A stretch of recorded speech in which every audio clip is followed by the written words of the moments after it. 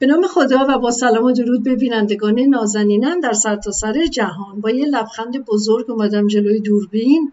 از موقعی که رهبر ما گفتن که واکسن بذارین این عکس قشنگم بذارم اینجا که این محتوای واکسن کوو ایران برکت باید منتشر بشه تا کسان دیگه هم بتونن بسازن و انحصاری نباشه برخلاف اون انحصار طلبی کمپانی ها و شرکت های داروسازی شیطانی که برنامه ریزی کرده بودن. از این واکسن کرونا میلیاردها دلار درآمد ثابت داشته باشن هر سال. و حالا می‌دونین که تبلیغ می‌کنن این واکسن باید مرتب بزنین تا بدنتون ایمن باشه. خب حالا من شخصا خودم مشکلی ندارم برم یه واکسن سنتی بزنم. چیزی که حالا در دوران کودکی زدیم ولی واکسن جدید شیوه و متد نمی‌دونم ژنتیکی و اینا که الان تو آمریکا از این واکسن ها درست کردن نه. اینو من چنین ریسکی نمی کنم و در هر صورت می‌خوام بگم واکسنی که در ایران تولید شده واکسن سنتی است و محتواش معلومه که چی هستش. برای همینم طلاک پاک چه منتش به خاکه. بنابراین اسنادش هم که منتشر بشه خب می‌تونن کمپانی دیگه هر آزمایشگاهی که تجهیزاتش رو داشته باشه بره این واکسن رو بسازه و در سطح ملی در اختیار مردم کشورها قرار بدن یا در واقع شرکت هایی که در سطح ملی کار می‌کنن این رو بسازن و در اختیار ملتشون قرار بدن یعنی می‌خوام بگم این شاهکار رهبرمون هست که این انحصار طلبی رو از دست این شیطان ها خارج کردن و در واقع این یک انقلابه. مثل انقلاب اسلامی که تاثیرش رو روی جهان گذاشته این منتشر کردن اسناد این واکسن هم در واقع یک انقلابه.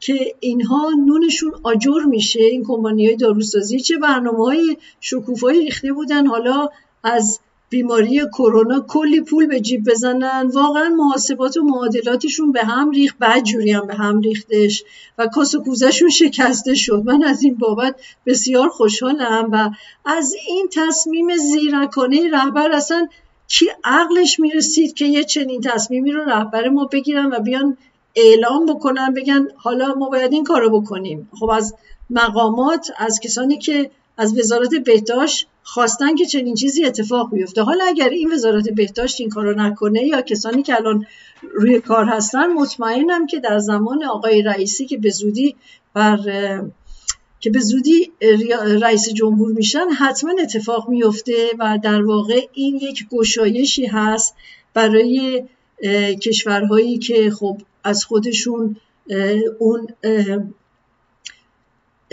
فناوری علمی رو ندارن در اختیارشون قرار بگیره یعنی این یک شکستن دیوارهاست و شکستن انحصار هستش و امیدوارم که در زمینه برخی از در برخی از بیماری ها مانند سرطان یا نمی‌دونم دیابت اینا ایرانیان پیش قدم بشن و درمان رو پیدا بکنن. نه اینکه آدما رو بذارن روی دارو بگن حالا تا آخر عمرت باید این دارو رو بخوری که درآمد ثابت هست برای کمپانی های داروسازی شیطانی.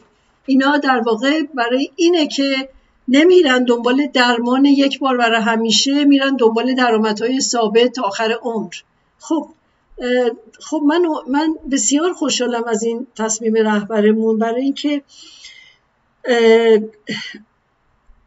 عناصر انسانی زیادی درش هست و درش بود و یک تصمیم انقلابی بود و تبریک میگم به ایرانیان به خودم که یک چنین رهبری رو داریم و یک چنین مرام و معرفتی در سیاست های ایرانی هست. حالا بهتون می‌خوام بگم اینجا اگر که ما یک کشور سکولار بودیم سکولاریزم که ارزش های دینی نقشی نداره فقط پول پول پول پول پول مثل آمریکا که فقط پول حرف اولو می‌زنه خب دیدیم دیگه این کمپانی های داروسازی اینجا مگه میان فرمول دارویی رو در اختیار رایگان در اختیار همگان بگذارن. در ایران یک سال بیش از یک سال رو این واکسن کار شده. کلی هزینه برده. کلی جوانای ما و کارشناسای ما درگیر بودن. ولی این رو در اختیار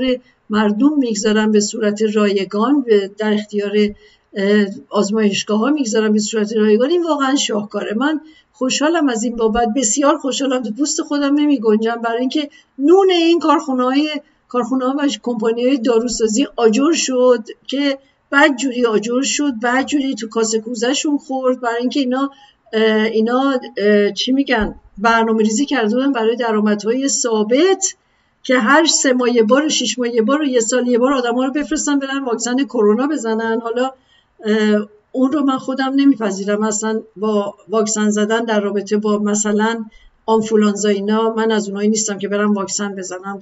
در عوضش میام بدن خودم رو قوی می‌کنم تقویت می‌کنم که اصلا ویروس نگیرم. حالا ممکنه که بر منم پیش بیاد اون رو نمیشه گفت. ولی به نظر من در بسیاری از موارد در رابطه با این کرونا خب شاید برخی انتخاب بکنن و واکسن رو بزنن. اما واکسن هم بخوام بزنم حتما واکسن سنتی ثبت می‌کنم تا بیام ایران و واکسن خودمون رو بزنم. معلوم نیست که اینا تو واکسناشون چی ریختن که حالا می‌خوان برخی از کشورهای دنیا رو مجانی بهشون بدن. رو اون بند خدا اینا رو آزمایش کنن موش آزمایشگاهشون بکنن. خب در صورت عزیزان من تبریک و تهنیت و به این به این رهبر دانا و آگاه و اندیشمند و انسان و من به وجود ایشون افتخار می‌کنم و خیلی هم دوستشون دارم. واقعا که نون این کمپانی های شیطانی آجر شد. کمپانی های داروسازی شیطانی و انحصار طلبان. بسیار خوشحالم از این بابت. خب شما رو به خداوند بزرگ ایران میسپارم. خدا نگهدارتون.